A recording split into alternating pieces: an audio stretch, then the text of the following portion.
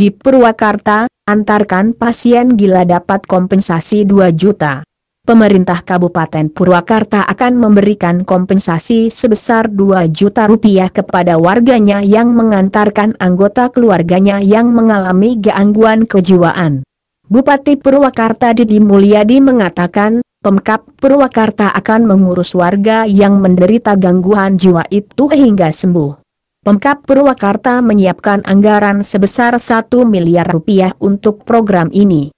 Bagi yang mau menyerahkan, kita siap berikan kompensasi 2 juta, di samping seluruh biaya untuk mengurus pasien gangguan jiwa itu kami tanggung, terdiri dari biaya pengobatan dan perawatan, kata Dedi dilansir Tribunnews, Rabu, 9 November 2016.